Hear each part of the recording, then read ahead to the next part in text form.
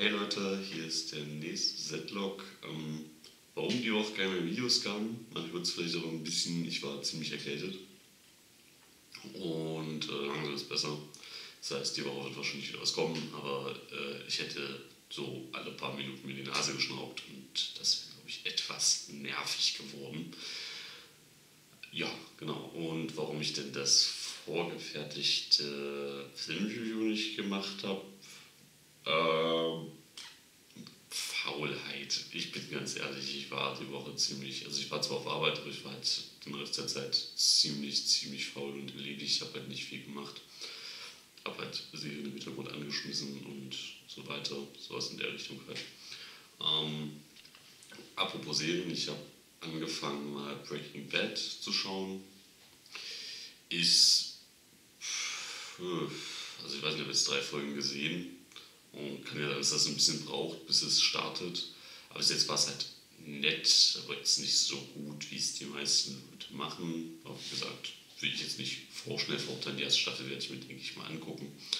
Ich habe Merlin ein bisschen weiter geguckt, aber irgendwie gefällt mir das immer weniger, wo ich den, die Hauptdarsteller recht sympathisch finde. Aber es ist halt, es ist trashig, aber nicht trashig genug. Versteht ihr, wie ich das meine? Also es ist jetzt, es ist jetzt nicht so wie, wie Herkules oder Xena, sondern dafür ist es schon wieder zu gut. Und das macht das ganze Problem auch irgendwie gerade aus.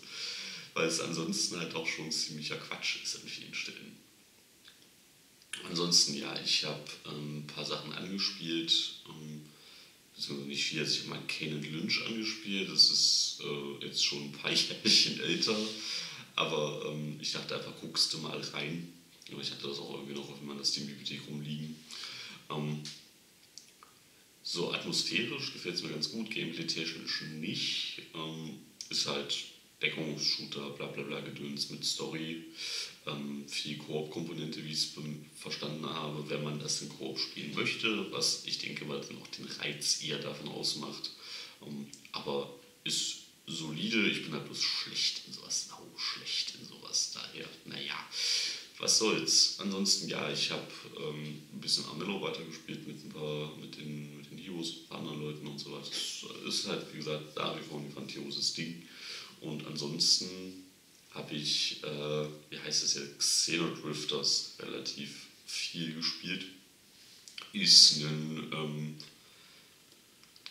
ja doch, ist ein Metroidvania-Spiel im weitesten Sinn. Na doch, das trifft es eigentlich schon ziemlich gut.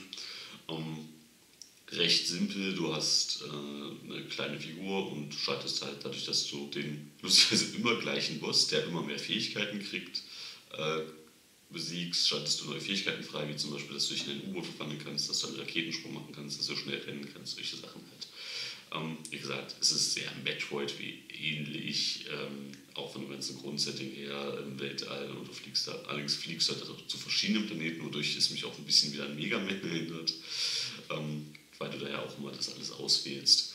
Ist nett, ich komme aber gerade nicht weit. also ich habe das so, ein, so einen kompletten Abend irgendwie auf der Vita gespielt, weil es gerade im PS Plus war und es ist nett, aber es ist halt irgendwie so schwer. Äh, Super Force Ultra habe ich dann auch weiter gespielt, war auch ein Plus. Ähm, super überzeichnet, witziges Spiel äh, mit einer echt netten Idee und einem charmanten Pixel-Look. Es gibt ja auch Spieler, die echt einen beschissenen Look haben in dem Bereich.